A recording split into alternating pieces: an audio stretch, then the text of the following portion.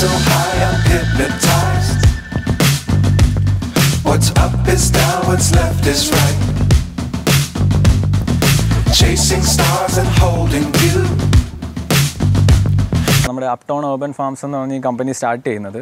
So basically ഞങ്ങൾ രണ്ടുപേരുണ്ടായിരുന്നു എന്റെ പേര് രോഹിത് എന്നാണ്. ഞാനൊരു ഇലക്ട്രോണിക്സ് ആൻഡ് കമ്മ്യൂണിക്കേഷൻസ് എഞ്ചിനീയറാണ് അല്ല എന്റെ പാർട്ണർ തൻവീർ അഹമ്മദ് ഒരു മറൈൻ എഞ്ചിനീയറാണ് സോ നമുക്കൊരു അഗ്രികൾച്ചർ റിലേറ്റഡ് ആയിട്ട് ഒരു ബിസിനസ് വേണമെന്നുള്ള ഒരു ഐഡിയ ഉണ്ടായിരുന്നു. അപ്പോൾ ആ ടൈമിൽ എന്ത് സ്റ്റാർട്ട് ചെയ്യുമെന്ന് പറഞ്ഞ് നോക്കിയപ്പോഴാണ് നമ്മൾ ഈ നമ്മുടെ ഈ ഓർഗാനിക് വെജിറ്റബിൾ മാർക്കറ്റിലെ ഒരു ഒരു ഡിമാൻഡ് നമ്മൾ കണ്ടത്. കാരണം നമുക്കിവിടെ ഓർഗാനിക് വേണ്ടത്ര സാധനം കിട്ടുന്നില്ല എന്നുള്ള ഒരു ഐഡിയ ഞങ്ങൾ ഇതിനെപ്പറ്റി മാർക്കറ്റ് റിസർച്ച് ചെയ്തപ്പോൾ അറിഞ്ഞായിരുന്നു. അപ്പോൾ എന്തുകൊണ്ട് നമ്മുടെ അവൈലബിൾ ആയിട്ടുള്ള സംഗതി അത്രയും മോശമായിട്ടുള്ള അല്ലെങ്കിൽ എന്താ പറയുക ഈ പെസ്റ്റിസൈഡൊക്കെ യൂസ് ചെയ്തിട്ടുള്ള എന്തുകൊണ്ടാണെന്നുള്ള അവസ്ഥയിലൊരു ചോദ്യം വന്നു. അപ്പോൾ അതാണ് കൂടുതൽ ഈ ലോജിസ്റ്റിക്സും പിന്നെ ബാക്കി ദൂരെ വേറെ സ്റ്റേറ്റ്സിൽ നിന്നൊക്കെ ചെയ്ത് കൊണ്ടുവരേണ്ടി വരുന്നു എന്നുള്ള ഒരു ഇഷ്യൂ നമ്മൾ അതിൽ നിന്ന് മനസ്സിലാക്കിയത്. അപ്പോൾ അതിനെ എങ്ങനെ ഒഴിവാക്കാം എന്നുള്ള ഒരു തോട്ടിൽ നിന്നാണ് നമുക്ക് ഈ ഹൈഡ്രോപോണിക്സ് എന്നുള്ള ഒരു ഐഡിയ കിട്ടിയത് കാരണം ഹൈഡ്രോപോണിക്സ് നമ്മുടെ ഒരു നോർമൽ കൃഷി രീതിയെ വെച്ച് നോക്കുമ്പോൾ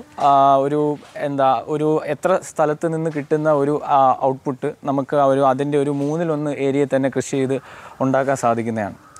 അപ്പോൾ ആ ഒരു ഐഡിയ വെച്ച് ഞങ്ങൾ ടൂ തൗസൻഡ് നയന്റീനിൽ സ്റ്റാർട്ട് ചെയ്തു. പിന്നെ ഇപ്പോൾ two thousand twenty three March ആയപ്പോൾ നമ്മുടെ ഈ കൊമേഴ്ഷ്യൽ ഫാം നമ്മൾ ഇനോഗ്രേറ്റ് ചെയ്ത് അതിന്റെ ഓപ്പറേഷൻ സ്റ്റാർട്ട് ചെയ്തു.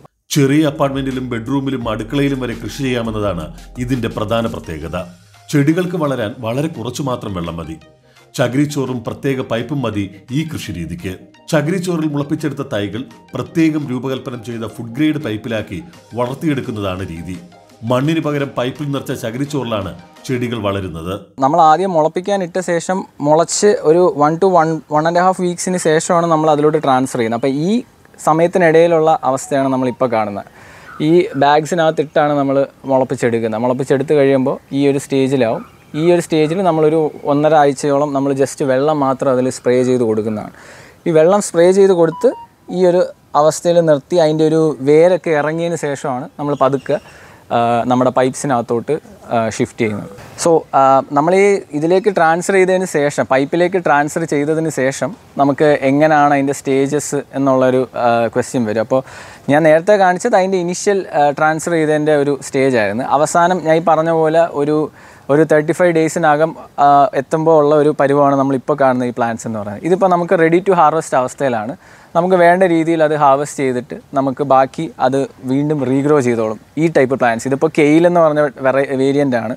Lettuce bok choy Chinese cabbage എന്ന് പറയുന്ന വേരിയൻസ് ആകുമ്പോൾ അത് വൺ ടൈം യൂസ് ആണ്. ആ പ്ലാന്റ് ഒരു വട്ടം തന്നെ നമ്മൾ മുറിച്ചെടുത്ത് മാറ്റിയ ശേഷം വീണ്ടും ഒന്നേന്ന് നമ്മൾ നേരത്തെ പറഞ്ഞ സൈക്കിൾ അതായത് സീഡിട്ട് മുളപ്പിച്ച് ആ വേണ്ട രീതിയിലാക്കിയിട്ട് വീണ്ടും ടേബിളിലേക്ക് ട്രാൻസ്ഫർ ചെയ്യുന്നു.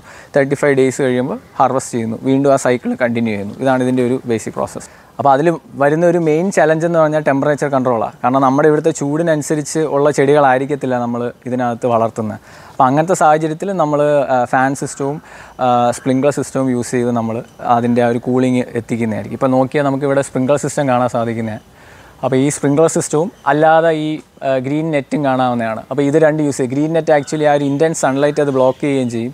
ആ ഹീറ്റിനെ ഒരു പരിധി വരെ കൺട്രോൾ ചെയ്യും. അല്ലാതെ സ്പ്രിങ്ക്ലർ സിസ്റ്റം ഓരോ വൺ അവർ ഇടവിട്ട് നമുക്ക് അത് സ്പ്രേ ചെയ്യുന്നതുകൊണ്ട് ചെടിക്ക് ആ വേണ്ട ഒരു തണുപ്പ് കോൺസ്റ്റന്റ് ആയിട്ട് ആ ഒരു ടെമ്പറേച്ചർ ആ വേണ്ട ഒരു ടെമ്പറേച്ചർ അതുപോലെ കോൺസ്റ്റന്റ് ആയിട്ട് മെയിന്റെയിൻ ചെയ്യാൻ സാധിക്കുകയും ചെയ്യാം. അപ്പോൾ ഇങ്ങനെ ഈ എല്ലാ കാര്യങ്ങളും കൂടെ നമ്മൾ ചെയ്ത് അതിന്റെ ഒരു വേണ്ട രീതിയിൽ തന്നെ കൊണ്ടുപോകുന്നതുകൊണ്ടാണ് വളരെ കൃത്യമായിട്ട് നമുക്കൊരു മുപ്പത്തഞ്ച് ദിവസത്തിനകം തന്നെ നമുക്ക് പെട്ടെന്ന് ഈൽഡ് എടുത്ത് സെല്ല് ചെയ്യാൻ പറ്റും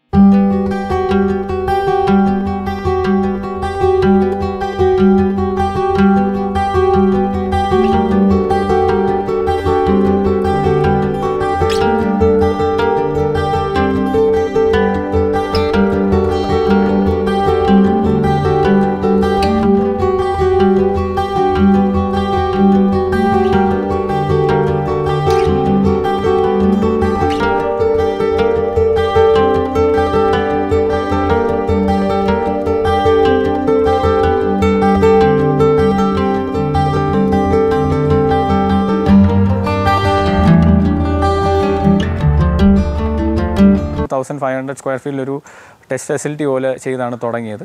ഇപ്പോൾ നമ്മൾ ഈ കൊമേഴ്ഷ്യൽ അവസ്ഥയിലായിട്ട് വന്ന് നിൽക്കുന്നത് ഇപ്പോൾ നമ്മുടെ കൊമേഴ്ഷ്യൽ ഫാമിന്റെ ഇൻവെസ്റ്റ്മെന്റിനെ പറ്റി പറയുകയാണെങ്കിൽ ഇതിപ്പോൾ ഒരു അമ്പത് സെന്റിനകത്ത് നിൽക്കുന്നതാണ് ഓൾമോസ്റ്റ് ഒരു ഫിഫ്റ്റീൻ തൗസൻഡ് സ്ക്വയർ ഫീറ്റിനകത്തോളം ആണ് ഫാമിന്റെ ഏരിയ ഉള്ളത്. അപ്പോൾ അതിന് ഏതാണ്ട് ക്ലോസ് ടു ഒരു forty five to fifty five ലാക്സിനിടയിൽ നമുക്കായിട്ടുണ്ട്. ബട്ട് അത് കുറേ കൂടെ കോസ്റ്റ് എഫക്റ്റീവായിട്ട് വീണ്ടും നമുക്ക് പ്ലാൻ ഔട്ട് ചെയ്യാവുന്നതാണ്. ബട്ട് ഇപ്പോൾ ആയത് ഞങ്ങൾക്ക് ഇത്രയാണ് കോസ്റ്റ് ആയിട്ടുള്ളത്. പിന്നെ അതിന്റെ അതിൽ നിന്നുള്ള റിട്ടേണിനെ പറ്റി നമ്മൾ സംസാരിക്കുകയാണെങ്കിൽ നമുക്ക് ഈ ഹൈഡ്രോപോണിക്സ് ചെയ്തുള്ള കൃഷിക്കായിട്ടുള്ള പ്രോ കൃഷിയിൽ നിന്നുണ്ടാക്കുന്ന പ്രോഡക്ട്സിന് നമ്മുടെ ഈ സിറ്റിയിൽ തന്നെ നല്ല ഡിമാൻഡുണ്ട് അപ്പോൾ ഞങ്ങളുടെ ഇപ്പോൾ ഉള്ള സെയിൽസിന്റെ ബേസിസിൽ പറയുകയാണെങ്കിൽ ഞങ്ങൾക്കിപ്പോൾ ഒരു ഒരു മൂന്ന് മൂന്നര വർഷത്തിനുള്ളിൽ തന്നെ ഞങ്ങൾക്ക് ഈ മുടക്കിയ ഇൻഫ്രാസ്ട്രക്ചറിനായിട്ട് ആദ്യം മുടക്കിയ ഒരു ഇൻവെസ്റ്റ്മെന്റ് തിരിച്ചു പിടിക്കാൻ പറ്റുന്ന തന്നെ വളരെ ഈസി ആയിട്ട് അറിയാൻ സാധിക്കുന്നുണ്ട്. ഇവിടുത്തെ ഫാമിലെ പച്ചക്കറികൾ ഹൈലീഫ് എന്ന പേരിലാണ് വിപണിയിലെത്തിക്കുന്നത്. സൂപ്പർ മാർക്കറ്റുകളിലും കടകളിലും എത്തിച്ചാണ് വിൽപ്പന. ഇതിനൊപ്പം ആവശ്യക്കാർക്ക് വീടുകളിൽ എത്തിക്കാനുള്ള പദ്ധതിയും ആസൂത്രണം ചെയ്യുന്നുണ്ട്. വീടുകളിലെ ടെറസിലടക്കം കൃഷി നടത്താമെന്ന് ഇവർ പറയുന്നു. വെള്ളവും വളവും നൽകുന്നതിന്റെ അളവടക്കം മൊബൈൽ ആപ്ലിക്കേഷനിലൂടെയാണ് നിയന്ത്രിക്കുന്നത്. കൃഷിയിടത്തിലെ താപനില നിയന്ത്രിക്കാൻ സ്വയം നിയന്ത്രിത ഫോഗറുകളും എക്സോസ്റ്റ് ഫാനുകളുമുണ്ട്. ചെടിക്ക് നൽകുന്ന പോഷകങ്ങളുടെ അളവ് ക്രമപ്പെടുത്താൻ സെൻസറുകളുമുണ്ട്. ജൈവ കൃഷിയേക്കാൾ ഹൈഡ്രോപോണിക് കൃഷി രീതി മികച്ചതാണെന്ന് ഇവർ പറയുന്നു. ഒരു ചെടിക്ക് നന്നായി വളരണമെങ്കിൽ അനുകൂലമായ കാലാവസ്ഥ ആവശ്യമാണ്. അതുകൊണ്ട് തന്നെ ഹൈഡ്രോപോണിക്സ് വഴി ഒരു ചെടിക്ക് വളരെ പെട്ടെന്ന് വളരാൻ കഴിയും. അതുവഴി മികച്ച വിളവെടുപ്പും സാധ്യമാകുമെന്നിവർ പറയുന്നത് അനുഭവങ്ങളുടെ വെളിച്ചത്തിലാണ്